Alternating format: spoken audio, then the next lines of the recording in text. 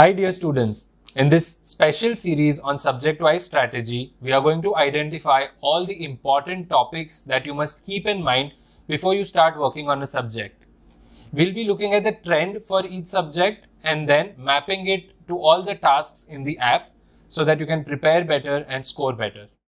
In this video, we'll look at the strategy for oral surgery. Now, oral surgery is an interesting subject and you will see a lot of clinical questions very relevant questions and something that you will need in your general practice too. So your focus on oral surgery should also be to imbibe as much as knowledge you can take because it is going to help you in a lot of uh, aspects. But when you talk about your preparation strategy, you have to also keep in mind that it deals parallelly with anatomy, with pharmac, with surgery, with oral path and oral medicine and radiology too. So there's a lot of overlap between oral surgery and other subjects and while preparing you have to keep that in mind. The trend of oral surgery over the past few years has been pretty consistent. That means the number of questions asked in oral surgery have always been almost 14 or plus minus 2 and that is exactly the weightage that is expected from oral surgery. So this is an important pretty easy to score because there are very selective topics which are hot favorite when it comes to being asked in the exam. Now, how do you determine which topics are important and which questions are supposed to be your prime focus? For that, we are going to allocate each of these questions from previous NEET MDS exams to the topics on the left and then we will get an idea as to which topics would be more important for the exam. So let's start with antibiotic prophylaxis which is the first question and that would belong to exodontia because you need prophylaxis for prosthetic valve replacements. The next is intranasal antrostomy which is maxillary sinus related and this is done through, through inferior meatus. Next question a surgeon is suspecting uh, involvement of surrounding areas to be malignant and you will take frozen section biopsy so that's cistern tumors. Lefort 1 related questions are middle third fractures. Stobie's extraction, the elevator used is straight elevator. Exodontia again. Then a big question, clinical on Ludwig's angina, which is progressing to cellulitis. So that is odontogenic infections. Then a case-based question of a 7-year-old with a lopsided chin on the left side and here there is a problem with the TMJ. So the treatment of choice for TMJ defects and ankylosis then systemically injected uh, medicament for controlling bleeding is etamsylate so that's exodontia then lateral trephination technique for impacted third molars. So again impaction amount of lidocaine or lignocaine that causes CNS depression, factual question on local anesthetics. Then we have Pedersen index score for complexity of an impacted molar. Then there is a CT scan of oroantral fistula and best treatment protocol. So this question belongs to maxillary sinus. Then here is a question on complication of local anesthesia. So the patient developed weakness around the left side of the face. Which of the following technique could possibly lead to this? So inferior alveolar nerve block and its complications are important. 54 year old male with history of MI currently having periodontally compromised teeth. What should be the treatment plan? So interim prosthesis you have to wait for a few months until the healing is complete. This question can also belong to prosto, but because this is based on the urgency of extraction, then we'll put it under exodontia. Then a patient underwent extraction of mandibular molar with multiple injections of local anesthetic lidocaine and then anaphylaxis. So what is the mechanism of action of anaphylaxis? Of course, you can also watch the video, look at the explanation first. You can look at the key concept, get the flow chart, get a full idea about the topic right so that's emergency Next question. Paresthesia of lower lip is due to fracture of mandibular body. That's on fractures. Then this is Rowe's disimpaction forceps and identify the true, uh, true statement about the instrument. So that is middle third fractures. More about Rowe's disimpaction forceps and how to use them. Then you also have the video explanation to demonstrate all the details regarding this procedure. Make sure you watch these video explanations. They are very handy when it comes to uh, getting parallel knowledge on the topic and also to understand how to eliminate options. Then the next question, a patient was on 20 milligram hydrocortisone and was advised tooth extraction. He started experiencing problems and then there was discontinuation of the treatment. What is he being treated for? So all these are examples of medical emergencies in dentistry. When a patient with history of diabetes advised dental extraction and there is hypoglycemic attack what should be your treatment plan? This is a medical emergency again 48 year old female which was administered lidocaine with adrenaline has these complications convulsions and seizure which of the following could cause this? So this is a local anesthetic problem. Space between retropharyngeal space and vertebral space is known as danger space. Important again danger space is a commonly asked question. This is the place this is danger space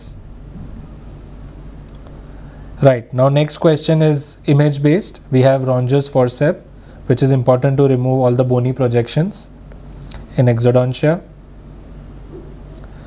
Then a female patient reported to the clinic with inability to open her mouth. It's a TMJ problem, arthrocentesis. During extraction, maxillary molar root tip disappeared. So it could not be, be between the bone and periosteum. So this is an emergency and also associated with maxillary sinus during exodontia. Pediatric patient with limited mouth opening complains of difficulty in breathing. This is an example of bilateral TMJ ankylosis. So we'll put that in TMJ diseases. Gillies temporal approach, middle third fractures. Child with history of trauma complains of deviation of mandible to the right side. He has right unilateral ankylosis, TMJ. Then we have a clinical image schematic of Gow-Gates technique. So that's local anesthesia and techniques. Carpenter reports with bleeding and amputated fingertip, which LA should be used, and the reason behind that. So, in order to avoid gangrene of toes and digits, you will use LA without adrenaline. Then, a patient with infected lower molar presents with fever and tachycardia, a lot of other discomfort problems, the possible space involved is the pterygomandibular space. Now, uh, space infections, the location and boundaries of space, the anatomy of the space is all very important. Once you get a good visualization in anatomy, so make sure that you are also following your anatomy tasks and questions simultaneously when you are solving space infections. Then patients with history of controlled hypertension undergoes maxillary posterior tooth extraction. Immediately there is a collapse this is because of orthostatic hypotension, which is a medical emergency. Then a patient presented with right side submandibular sublingual swelling and a lot of fever. Additional symptoms are described. These are all symptoms of Ludwig's angina. This is the second time we are coming across Ludwig's angina question. Patient complains of fever and dull throbbing pain in upper right tooth. What is the diagnosis if there is non-carious and halitosis? So this is maxillary sinusitis, diseases of the sinus. Very classical image of Bell's sign. Patient with random glucose comes to the clinic for extraction. The next thing should be HbA1c analysis. That's the protocol. It gives you a good uh, idea of glycated hemoglobin and glucose control. Next, patient presented with fever of 100 degrees Celsius, unilateral parallel swelling on the right side and uh, is shifted to the opposite side. This is because of a peritonsillar abscess. This question could easily fit in surgery curriculum too, right? The first direction of force required for extraction of a buccally placed maxillary tooth, a question on exodontia. Then a female who's 60 year old presented with upper left back tooth region pain and halitosis. Again, oroantral fistula. We saw a similar question on maxillary sinusitis. All are true about carcinoma of lip except the metastasis point. So this goes to tumors and cysts. Then we have an image based question. We have to identify the needle recapping technique. This is scoop technique. And let's assign this to local anesthesia. Correct position of the of uh, the operator to hold the needle with the needle holder. Local anesthetic question. Then there's a question on suturing. While taking a bite, what should be the ratio of distance from the edge to the point of insertion? It should be 1 is to 1. Okay, so we'll classify that under exodontia. Another question on suturing. Minimum amount of tissue required between the edge of the flap in case of suturing alveolar mucosa is 3 mm. Exodontia question. Then which of the following is not a supplemental injection for endodontic treatment, inferior alveolar nerve block, LA. During extraction of maxillary second molar, the root tip is dislodged into the sinus. How will you confirm this communication? By nose blowing. So you see there are three such questions regarding breaking of the maxillary molar root. One was how will you check what are the places it could go to and how will you diagnose. So you have to be very vigilant when you are looking at these questions. You could have the same question given to you in a different way. So it's necessary that you read all the explanation that follows the question, right? Because you will find a lot of parallel knowledge there. Right, then the next question is on osteoradionecrosis. Then we have Langenbeck and Katz-Pohr retractor which are used for soft tissue retraction. Then the graft material of choice for repairing alveolar cleft is iliac crest. And for blowout fracture is titanium mesh so that goes to middle third fractures. Then we have a tooth which was removed by recurrent pericoronitis and you see a notching at the root now this is because of inferior alveolar canal. So that is impacted molar. Okay. Then we have the advantage of using titanium mesh over autologous bone for orbital floor reconstruction. Now see again this is titanium mesh for middle third fractures. And the reason is because long time to heal. So it's a parallel question. It's it's identical to the one that we previously saw lower eyelid incision should not be extended more than the lateral canthus because it will help you preserve the facial nerve. 5 year old patient with rheumatic heart disease comes to you for tooth extraction. When should the antibiotic prophylaxis be given? 1 hour before extraction. So this is some protocols with regarding to antibiotic prophylaxis that you must keep in mind, especially from the American Heart Association. Patient had undergone mandibular first molar tooth extraction, comes back to the clinic after two days with respiratory distress and the tongue is pushed up, Ludwig's angina. We've seen a similar case like this before. This is the third question on Ludwig's angina so far. Difficulty score for mesioangular class 2, position C, mandibular third molar. Similar question we've seen before. Leclerc procedure is used for the management of TMJ dislocation. So that's a TMJ disease. Then chances of oroantral communication is maximum during extraction of maxillary first molar. Patient with orthopedic hip implant is to undergo extraction. Which antibiotic prophylaxis? Here it's not required. Trapdoor anomaly is seen in orbital floor fractures. Lateral trephination technique given by Henry Bowdler is used for the extraction of partially formed mandibular molars. So let's assign that to impaction.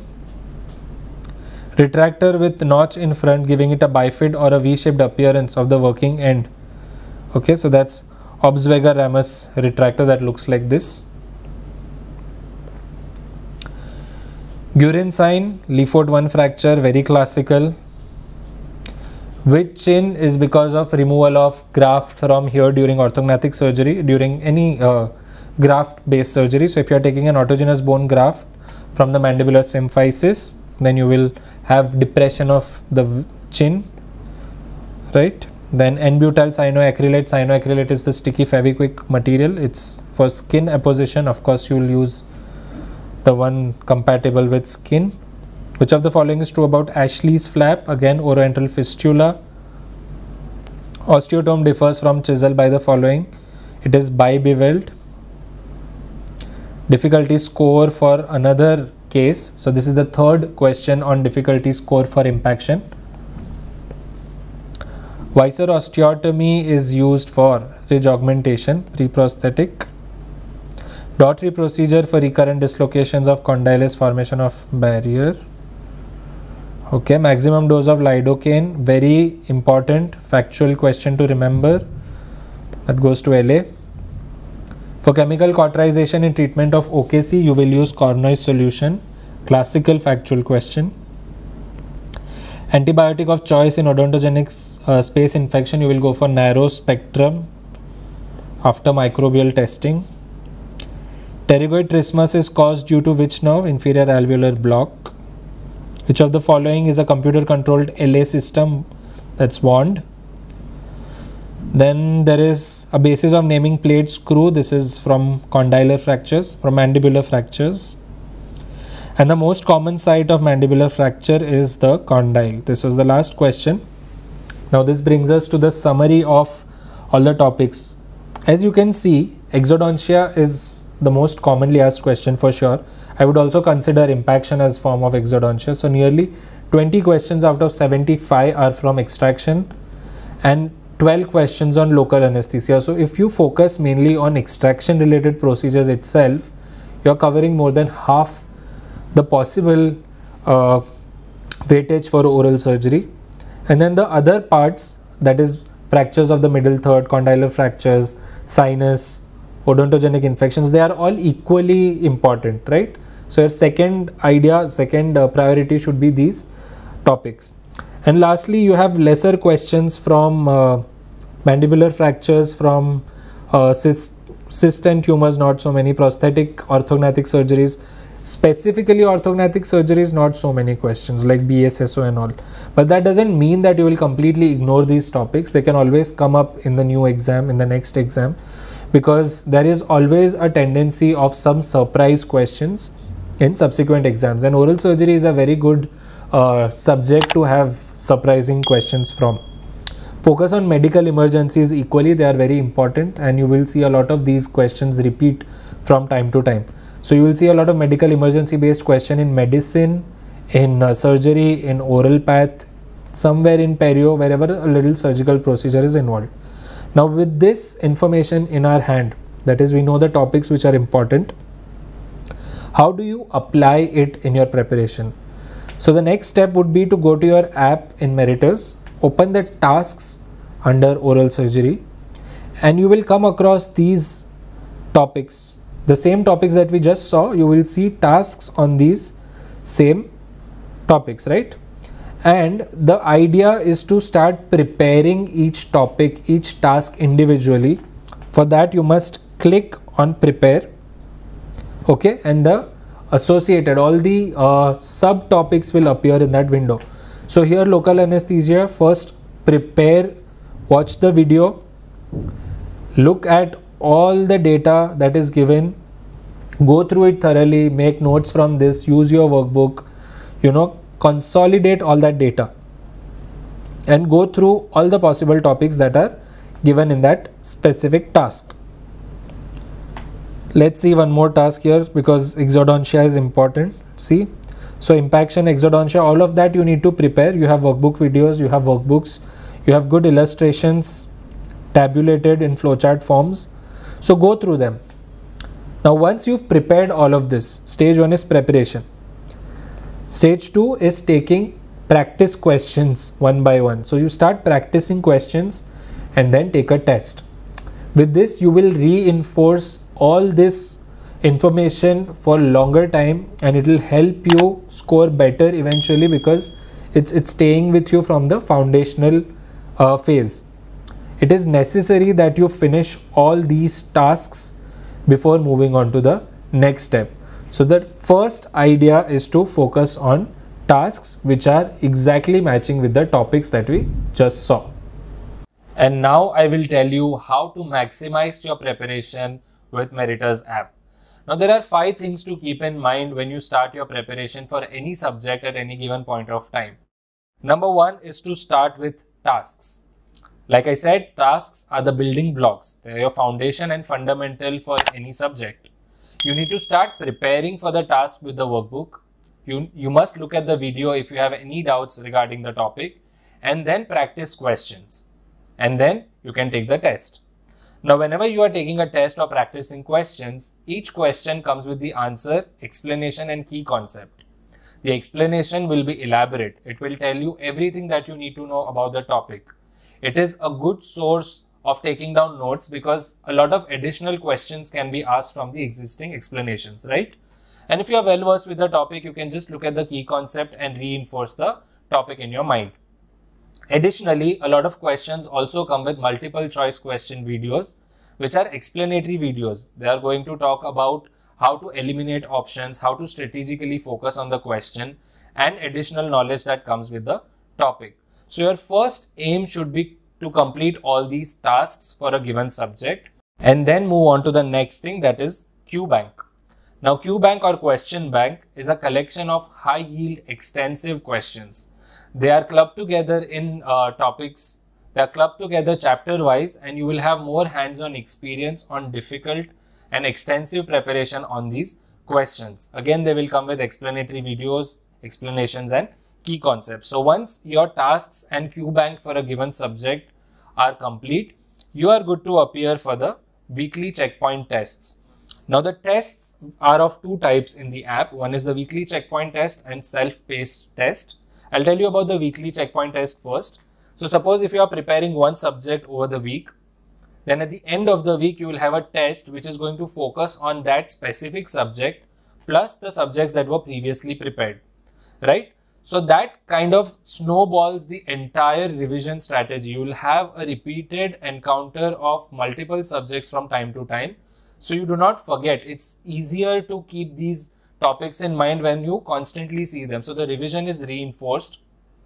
Plus you also get personalized AI recommendations, right? So at the end of your test, based on your performance, you will get how many questions you answered, what was the score, how much was the negative marking, where are you lacking, what are your stronger points, and then it will tell you how much time to dedicate for a revision of your weaker subjects. So with this strategy, you will be able to focus on specific areas that are your weaknesses. Now that is an exceptional feature of Meritor's app. And the next set of tests is self-paced test, which you can take at any given point of time. These are subject-wise tests. You can also have cumulative tests multiple recall questions also incorporated in form of tests. And towards the end of your preparation phase, you will have a lot of volatile, factual, high yield questions uh, in form of final strokes, which are again specialized tests to be able to remember these topics clearly before the exam.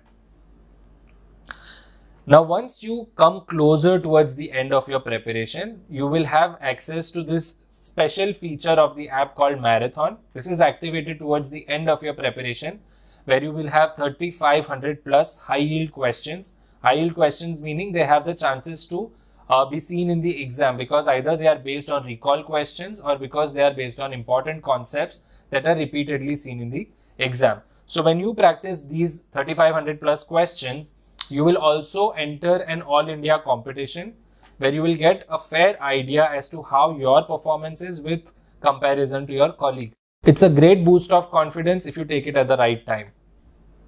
And lastly, we have the all famous national mocks, which is a pan India or all India nationwide uh, simulation of NEET MDS exam. We conduct them uh, towards the end of your preparation in a few months to go and every weekend you will have access to this special test. You will see a lot of new questions in national mocks uh, which are based on important topics. So do not miss national mocks because it gives you a good hands-on experience of the exam. It gives you an idea of time management because this is exactly according to NEET pattern that is 240 questions and 3 hours with negative marking. So you, you kind of get a very fair and square idea of your performance because this is again an all India competitive uh, mock exam and you will get personalized AI recommendations here as well. Now they are more important for uh, national mocks too because uh, towards the end when you are revising you will not know which subject to pick up at what time and your performance in the national mock will be assessed thoroughly and you will get your AI recommendations which will tell you which subjects to revise. So make sure that you are making use of all of these features in the app. Now apart from that, if there is any query that you have while solving your questions, if you have any doubts regarding any topics, you can always contact the faculty on the WhatsApp group. We are always here to help you. And I hope with this in mind, you will be able to channelize all your preparation strategy in the right direction. And I hope we'll be able to help you achieve your dream seat in MDS. Thank you so much and good luck from Team Meriters.